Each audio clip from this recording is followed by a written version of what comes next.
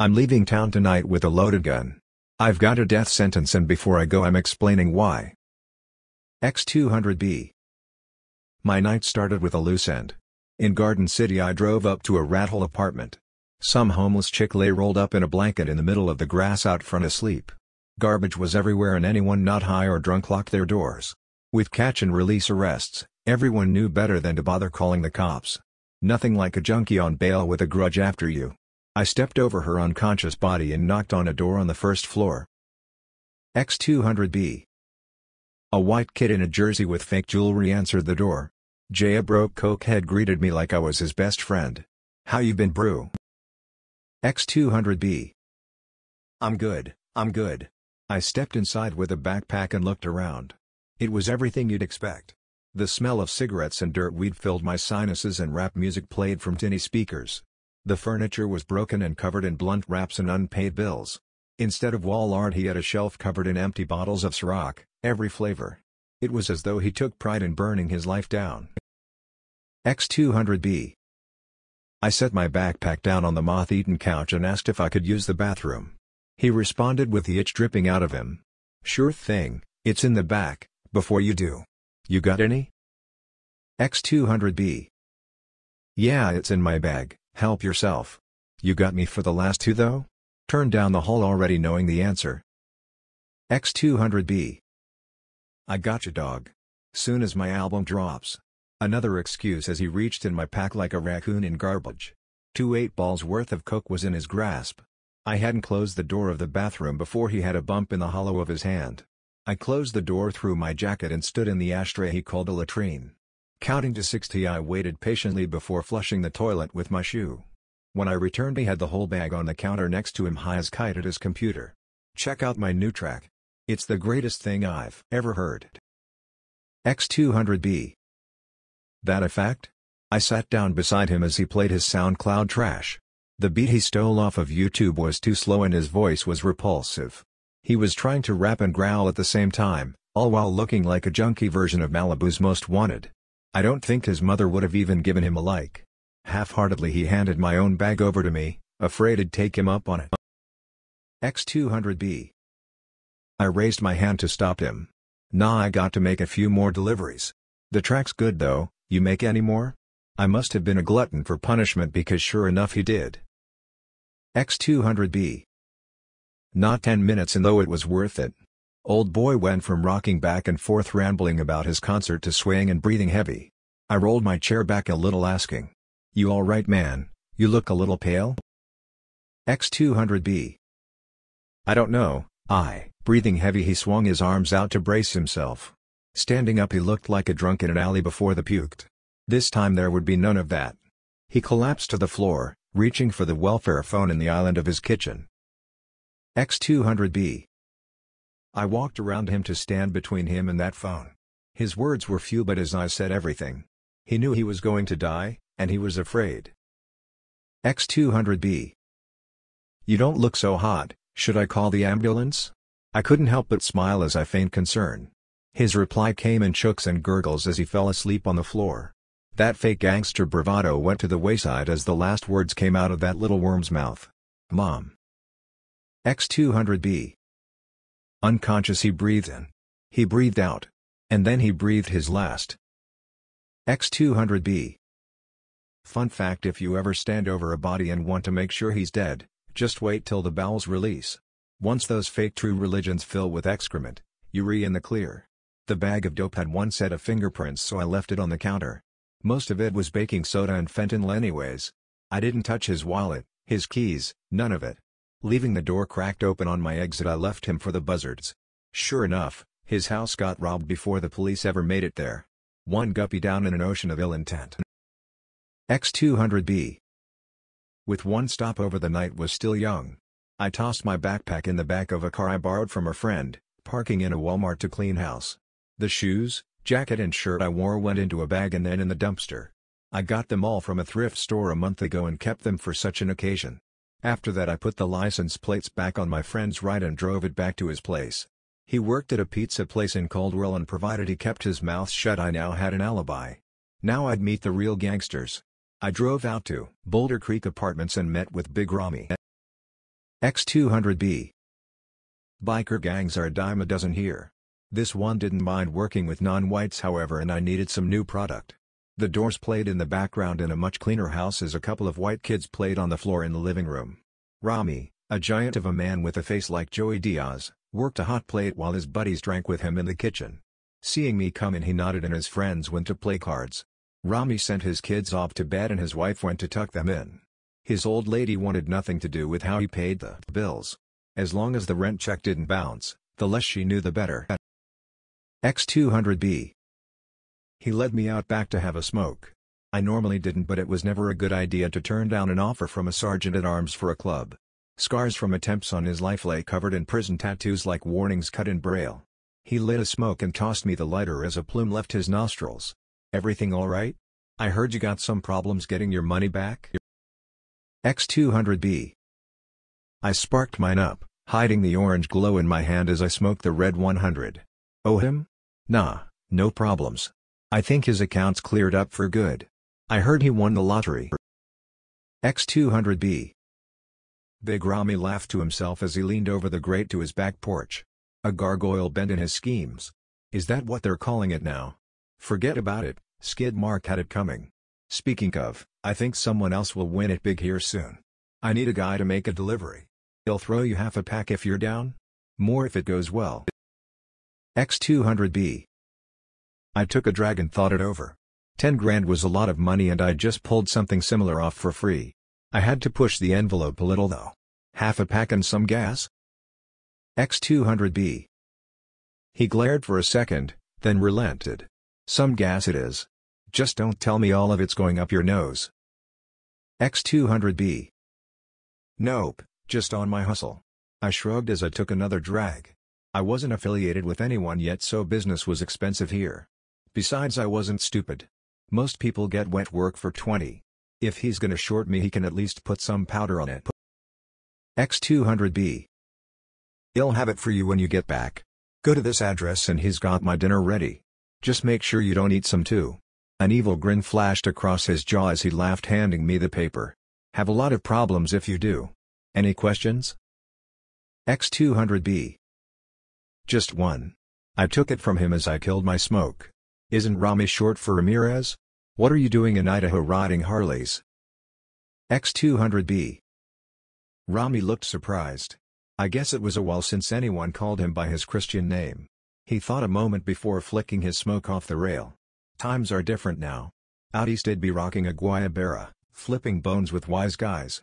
It's cold out west. You want to work, you wear leathers. Don't laugh so hard you might be wearing a set here soon yourself. If it wasn't clear already I was being sized up for association. The big leagues. I smiled at the thought, shook his hand and so was on my way. X200B Slipknot blared in my speakers as I hit the road. This hatchback was mine so I played whatever I wanted.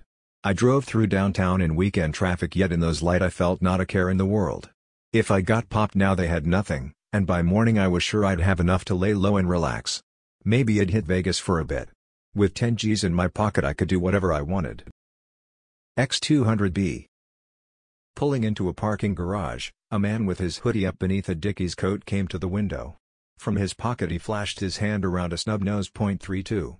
I rolled down the window and raised a hand. What up man, big homie sent me.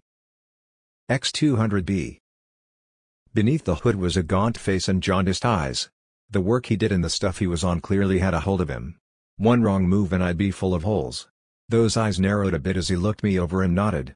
Yeah he called. Looking around he tossed me the contents in the other side of his coat. It was a bag of black liquid. I thought it was heroin yet that came sticky like tar. This stuff looked like alive, wriggling in the bag like jumping beans but a loose ooze instead of pills. X200B What's this? Even touching the bag gave me a shiver of revulsion. I was used to hawking grime but this was bad by my standards. X200B You don't want to know. Even the hood looked relieved to have this stuff off him. Upon further inspection what was moving in the bag was not happy. The liquid alive in its container was ramming against its prison walls. X200B Before I said anything more he was gone, back in the shadows of that parking garage.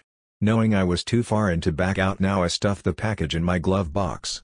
There really wasn't a place to hide it if I got pulled over. If it was coke he'd have slid it down my pants but I'm not having a moving eel of slime wrapped around my prick while I'm trying to drive. X200B All things considered the ride was fine. No cops, no accidents. An easy A to B. I pulled into a trashy trailer park out of town for my final destination. I slipped the package in my pocket and went to the door of a double wide with a dead lawn. Broken furniture and a trash can cut into a fire pit lay scattered. I walked up the steps around the trash and knocked. Some skinhead by the name of Kevin opened. Combat boots, beer-stained wife beater. Couldn't have been more stereotypical if he tried. He looked me up and down and asked me what I wanted. The fact I was Mexican was not something he appreciated. I kept my cool and let him know Big Rami sent me. X200B. He asked why he sent somebody he didn't know to do business making sure to comment on my brown skin. Spitting his words he glared at me from the doorway, looking for my reaction. X200B. The fact I remained calm upset him even more. No idea, do you want it or not though? I can head back and tell him you were good. X200B. He snarled and let me in. The place was nothing unexpected.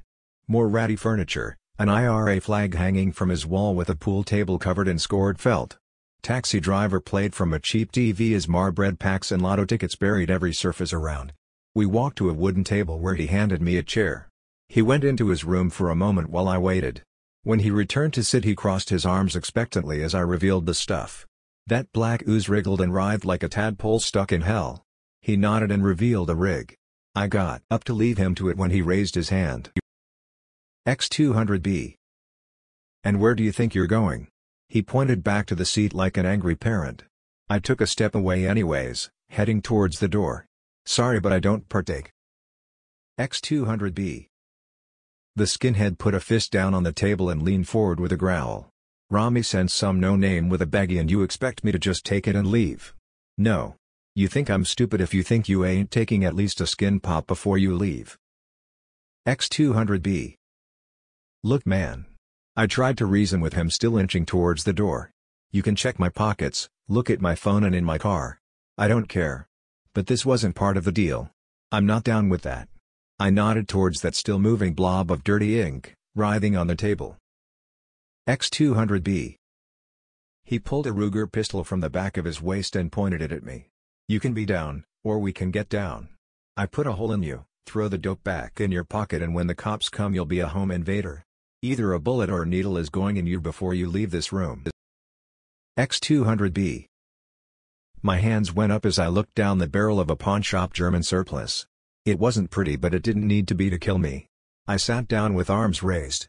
He shook the gun at my jacket which I removed tying the band around my arm. What is it? I asked, doing everything I could to mask my anxiety. X200B. To be honest. I don't know. Kevin laughed to himself as he watched me squirm. I told Ramirez that meth wasn't doing it for me. I liked to shoot up before I put work in but now I got to hardline crystal just to keep me normal. He told me about this stuff and promised it would take me to Valhalla if I let it. I guess we're both about to find out what that means, huh? X200B. I swallowed hard, my heart smashing against my rib cage. I tried to pick up the bag yet my hands couldn't stop shaking. X200B. Give me that. The sociopath was more annoyed than anything. Ripping the contents from my hand, he jammed the needle right through the bag. It struck true, sucking up a chunk of that dirty slime in the syringe before giving it back to me as he continued. Funny, the more you squirm, the more I think you're were trying to kill me. A sick smile crossed his face, placing the rig into my hands. X200B. Who me? Never. I clenched my teeth, put the needle in my arm, and pushed the plunger down. X200B. X200B. The first thing I noticed when I woke up was blood on the ceiling fan spinning lopsided with a broken fin. Sitting up I saw the reason why. Kevin the skinhead was in pieces. Blood lay pouring out of his body like a broken milk jug. His jaw had been ripped off the bottom half of his face and his head was caved in from the back. It looked like a deflated soccer ball, making the widened eyes of terror all the more disturbing. That jawbone was in my hand. That blood now on my shirt, dripping down from off my chin. X200B. Realizing what I'd done a wretched. I've watched people die before but this was too much. The bile spilled onto the floor mingling with his remains when my phone vibrated in my pocket. The number was anonymous yet in the pit of my gut I knew who it was. X200B. How's it going? A voice buzzed through a cheap scrambler. He spoofed the connection and hid his voice in case he was bugged. It's funny, technology that was considered sci-fi now only took a minute on the App Store. X200B. What do you mean how's it going? My voice boiled in anger and panic. No you tell me what was in that baggie you sent me. X200B. The voice swore over the scrambled connection. You didn't take anything you weren't supposed to write? X200B. A string of obscenities came as I threw the phone across the room.